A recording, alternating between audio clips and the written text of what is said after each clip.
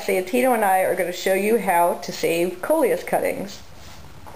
So I've gone outside and I've taken cuttings from coleus plants before the first frost and I've trimmed off most of the large leaves and pinched out the leaves from the top center.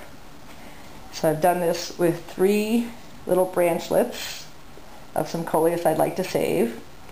I bring them inside and I fill some small baby food jars, shot glasses, and vases up with just tap, regular tap water.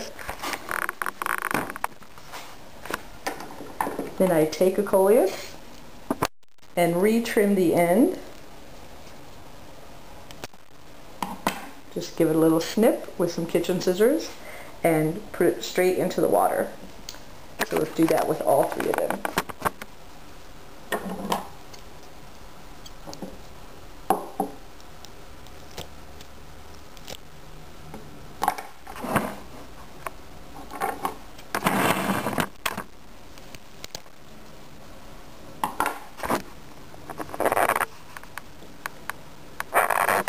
How's that, Santino? Looking good?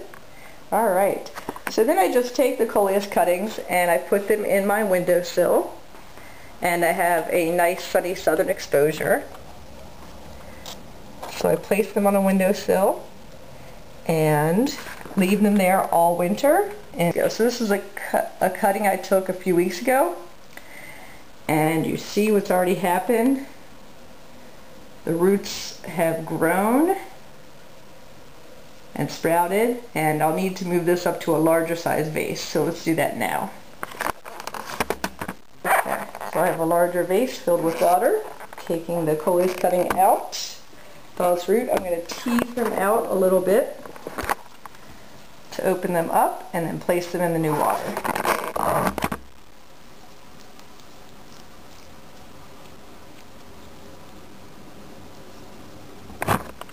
I'm also going to pinch off the top two leaves again. See if you can see that.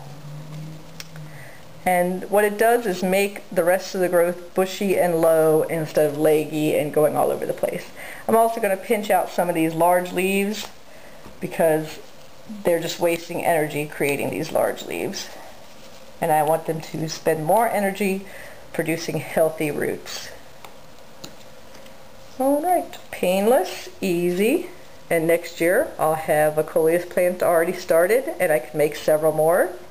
So I can take this coleus actually, pinch out the top growth, put that in the same vase of water. So we'll strip out some of the bigger leaves and have energy go to root production. And I'll put that back in the small vase again. So now two coleus plants will be ready for next spring. What do you think, Santino?